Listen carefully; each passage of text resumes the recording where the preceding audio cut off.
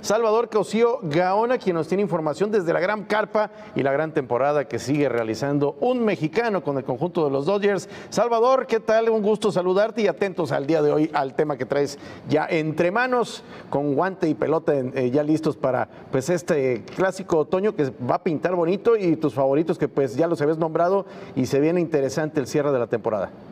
Pues mira, estamos ya que pues ya en el atardecer, por llamarle así, de la agenda ordinaria de la campaña 2021 de la Gran Carpa,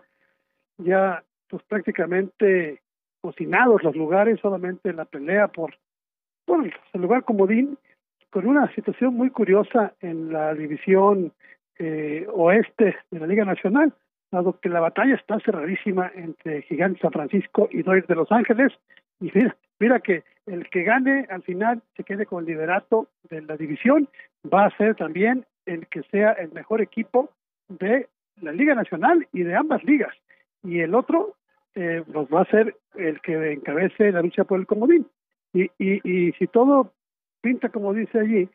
pues a lo mejor pueden enfrentarse después, porque lo más seguro, digamos, la predicción es que el que lucha por el comodín entre Dodgers y Gigantes y el que vaya a ser su rival pudiera ser Cincinnati, pudiera ser eh, San Luis, pues pudiera ganarle y volverse a enfrentar ya en la primera ronda de, de playoff contra el otro equipo. Va a estar interesante. Y bueno, en esta, en esta bataola,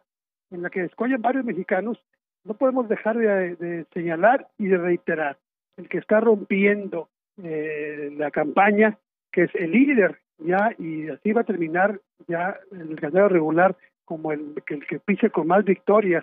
de ambas grandes ligas es el sinaloense Julio César Urias Acosta. Julio Urias, para que, lo conocemos, quien ya logró 19 victorias y puede llegar a 20. Eh, todavía tiene previsto una salida más el día 2, el penúltimo día de actividades de la agenda ordinaria, eh, enfrentando el día 2 a Cerceros de Milwaukee, en el día en que también habrá de enfrentarse a otro Urias, a Luis Urias, que le llaman Huicho, que es sonorense y que no tiene nada que ver de parentesco eh, con Julio, salvo la coincidencia de los apellidos, pero que también está haciendo, al igual que Julio, una gran temporada en las grandes ligas. Luis Huicho Urias, él como pues hombre del de, cuadro, que lo mismo se desempeña en la tercera, que en la segunda, que en el shortstop, y que viene bateando fuerte, emulando a bateadores mexicanos sólidos, históricos, como Vini Castilla, como Adrián González, por citar a solamente dos de los grandes bateadores mexicanos. Pero regresando a quien encabeza los reflectores, por las razones, que es Julio Urias, bueno, pues ya eh, superó o empató marcas, ya, ya em, empató eh, el récord de Fernando Valenzuela con 19 victorias eh, en, una campaña, récord que el, Toro alcanzó en el 82, también para de Los Ángeles, puede llegar pues a, a 20, que son el mismo número que tuvo en 86 Teodoro Higuera, precisamente con Milwaukee, y bueno, ya no tendrá la oportunidad de tener 21 porque se le acaba el tiempo, pero ya se inscribe en el, en el rango, padrón de los grandes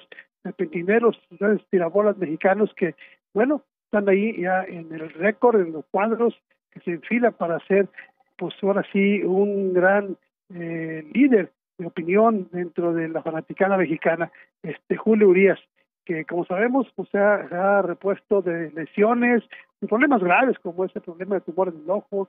por el, haber estado pues una lesión, una operación muy, fuerte eh, fuera de circulación hace año y medio, hace algunas temporadas, y ahí está,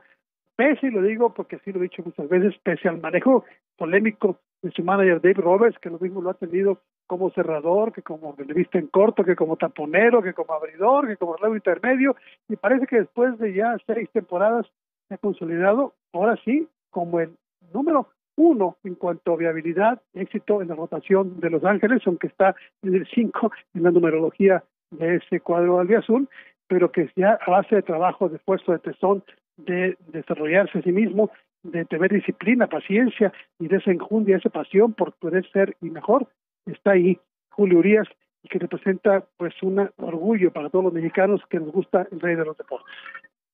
Salvador, pues sí, atentos entonces ya a este cierre de campaña y luego esperando también unos pocos días para que será el arranque de la Liga Mexicana del Pacífico que tendremos por ahí, me imagino, ya la siguiente semana, por ahí algunos comentarios al respecto. Agradeciéndote como siempre la colaboración para Señal Deportiva y un abrazo, gusto saludarte y nos sintonizamos el próximo martes. Efectivamente, el martes tenemos inauguración de la Liga Mexicana del Pacífico y ya estaremos con los de Charros de Jalisco. Un abrazo, Salvador. Ahí está Salvador Cosío Gaona, quien es experto en el rey de los deportes, el béisbol, aquí con su colaboración para señal deportiva.